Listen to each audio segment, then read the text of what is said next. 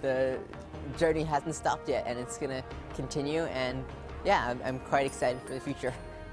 He should be. He's a child genius who will soon become the youngest engineer student to ever graduate from UC Davis. Next month, the 14 year old will receive his bachelor's degree in biomedical engineering.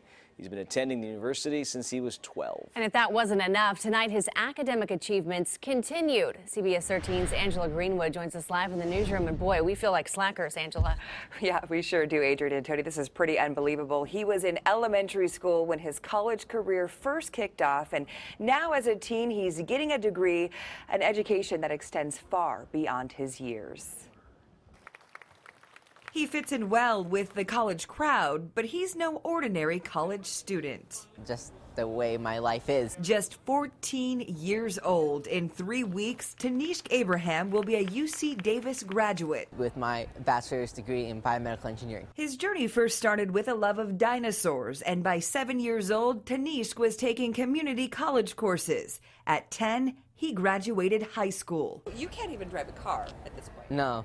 But you're about to get your college degree. Yeah. He was just 12 when he enrolled as a junior at UC Davis, but his professors say when it comes to academics, his age doesn't show. There is a maturity there and a, and a, willingness to just dive right into what the university has, the university has to offer. Tanishq Matthew Abraham.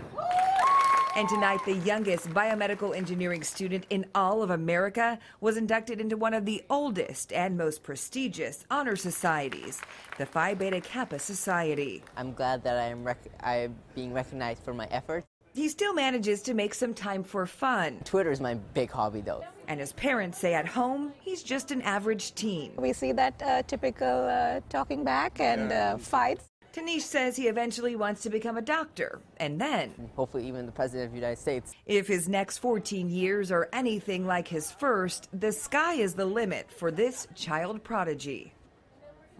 Just so impressive. Tanishq has already been accepted into the UC Davis graduate program where he plans to get his MD in the next four years or so. And Tony and Adrian, this runs in the family. His sister is currently a student at American River College, and she is only 12 years old. How about that? That is unbelievable. Congratulations to him. At 14, I was still learning my state capitals.